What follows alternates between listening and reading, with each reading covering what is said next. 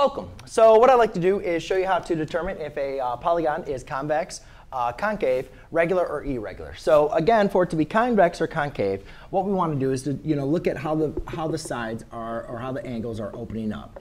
And to determine that, what I simply can do is just draw lines that are extending um, the sides of the polygon and see if any of those um, sides are going to intersect on the interior. And since none of them do, we know that this is a concave polygon.